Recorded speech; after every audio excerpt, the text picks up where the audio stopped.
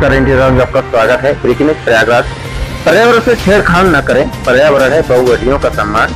समाज सेवी सरदार सत्यविंदर सिंह धरती को हरा भरा करने के लिए, आम जनता से अपील करने के लिए प्रयागराज जनपद की सड़कों पर पर्यावरण के प्रति चेतना जगाते हुए, हाथों में स्लोगन कार्ड लेकर उनसे विभिन्न स्लोगन लिखे हुए हैं। लोगों हरे भरे जीवन के बारे में स्लोगन के माध्यम से जानकारी दे रहे हैं कि पर्यावरण हमारा विकलांग हो गया है। अब इसे बचाने के लिए हमारी बारी है। अब हमें पर्यावरण को बचाने के लिए पेड़ लगाने अनिवार्य पर्यावरण बचाओ। पर्यावरण की छेड़छाड़ मत करो, पर्यावरण है। बहु बेटियों के सम्मान जैसे नारे लगा रहे थे।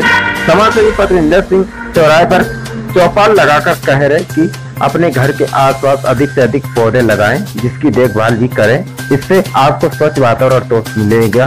साथ ही मानसिक शांत और बढ़ावे में फल और छाया भी प्राप्त होगी। कार्यक्रम में कौशल किशोर हरमन सिंह दलजीत और सुमित अर्चना सरदार सुरेश गीतांजलि आज लोग मौजूद रहे। ज़रूरी है पेड़ लगाना उतना ही ज़रूरी है सरदार पतविंदर जी से कुछ न कुछ नई बातें सीखना। हम लोग यहाँ खड़े होकर पर्यावरण के प्रति चेतना जगा रहे हैं और वृक्षारोपण के लिए प्रेरित कर रहे हैं। वृक्ष लीजिए और के इसकी कल्पना करिए।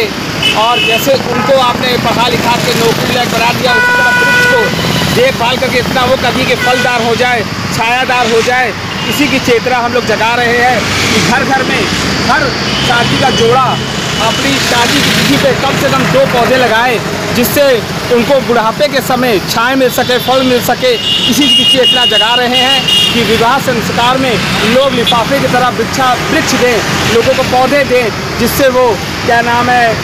प्रेरित हो सके और वातावरण शुद्ध हो सके। मैं सरदार का सिंह